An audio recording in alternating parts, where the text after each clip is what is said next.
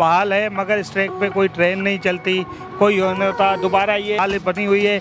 जितना भी यहाँ पे ट्रैक है वो तकरीबन ट्रैक ख़राब एक ट्रैक जो है वो तकरीबन सही है मगर वालेकुम अस्सलाम जन्नत हराम।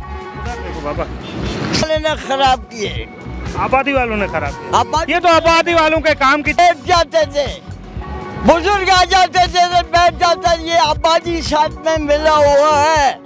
अगर काम नहीं हो रहा तो ऐसे ही ये पटरी भी उठा के ले जाएँगे। असलम नाजरीन, मैं हूँ मोहम्मद मुजम्मिल, आप देख रहे हैं शानदार पाकिस्तान। नाजरीन, हम यहाँ लियारी के मकाम पे मौजूद हैं। ये लियारी के सी आर स्टेशन है, जो इमरान खान की कड़ी मेहनत के बाद वज़ीर रेलवे सबका वज़ीर रेलवे शेख रशीद की कड़ी मेहनत के बाद जब ये ट्रैक बहाल हुए सुप्रीम कोर्ट के अहकाम पे अब ये ट्रैक पूरा बहाल है मगर इस ट्रैक पे कोई ट्रेन नहीं चलती कोई नहीं होता। दोबारा ये इसको बनाया गया। फिर उसके बाद इसका हाल वही है खंडरात की सूरत हाल बनी हुई है।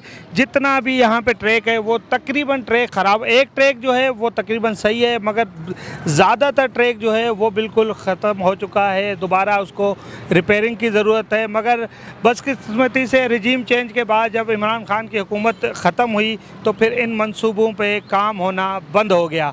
अभी किसी और की तवज्जो नहीं है तो ये ट्रैक जो है बिल्कुल ख़त्म हो गए हैं। देख रहे हैं पूरी आवाम ट्रैक पे बैठी हुई है। बच्चे क्रिकेट खेल रहे हैं। किसी चीज़ पे तवज्जो कोई नहीं है। बाबा मौजूद है इनसे पूछते हैं बाबा से ट्रैक के हवाले। अस्सलाम वालेकुम।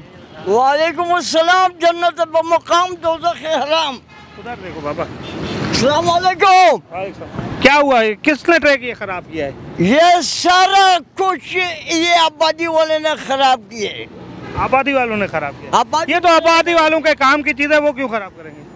ये काम की तो चीज़ है समझते नहीं है ना अपना मुंशियात बेचने के लिए इन्होंने खराब कर दिया।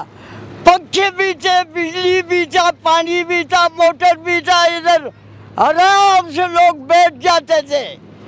बुज़ुर्ग आ जाते थे तो बैठ जाता ये आबादी साथ में मिला हुआ है। अगर काम नहीं हो रहा है, तो ऐसे ही ये पटरी भी उठा के ले जाएँगे। पटरी तो सही है ट्रैक तो सही बना हुआ है ना। सब कुछ सही है मगर ये सब नाम मंजूर के मुताबिक है। अभी पंखे भी नहीं है बिजली भी नहीं है पानी भी नहीं है कुछ भी नहीं है। सब कुछ ले गए। कौन ले गया? क्यों ले गया?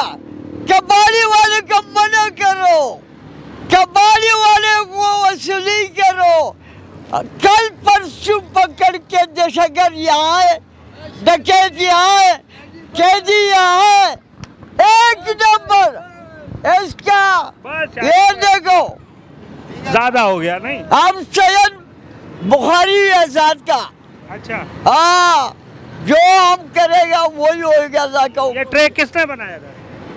ये शेख रशीद वज़ीर दाखिला इमरान खान और ये पब्लिक के लिए सहूलत बनाया करोड़ों अरबों रुपया लगाए इधर और इन्होंने बर्बाद बर्बाद कर दिया? क्यों किया? ये मियाँ शहबाज शरीफ साहब दोबारा बना देंगे। शाबाज शरीफ क्या बनाएँगे? वो तो मुल्क को बिगाड़ के चला गया। उसको तो कुर्सी चाहिए। उसको तो कुर्सी चाहिए। अभी सक्कर में मोटरवे भी बना रहे कौन बना रहे? शहबाज शरीफ। ये कभी नहीं होगा अपने लिए पिजारो। गाड़ियाँ क्यों नहीं निकल रही?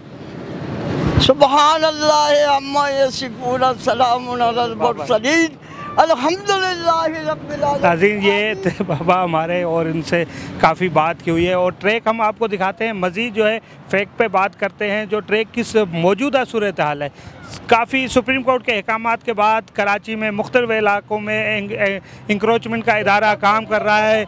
रेड लाइन, ब्लू लाइन, जहाँ ग्रीन लाइन के बड़े बड़े मंसूबों का आगाज़ किया गया है। वहीं सुप्रीम कोर्ट के अहकाम के मुताबिक ये के सी आर का भी काम शुरू किया गया था। काफ़ी दो स्टेप जो थे के के वो मुकम्मल किए गए थे। ये स्टेशन था, इसको भी दोबारा तैयार करके इधर ट्रेन का जो सिस्टम था वो चला दिया था। मगर बदकिस्मती से ट्रेन तो चलती है, मगर ट्रेक की बहुत बुरी सूरत हाल है।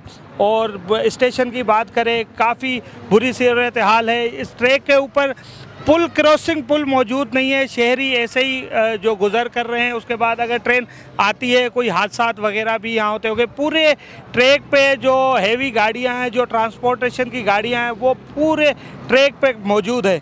मगर इन गाड़ियों को हटाया जाए और यहाँ ट्रैक को दोबारा बहाल किया जाए। जो मुख्तलिफ़ जो दूसरे ट्रैक हैं, वो ख़राब हैं, उनको भी सही किया जाए ताकि कराची की आवाम इससे मुस्तफ़ हो सके। इसी के साथ मोहम्मद मुजम्मिल को इजाज़त दीजिएगा, फिर मिलेंगे अल्लाह ने के बाद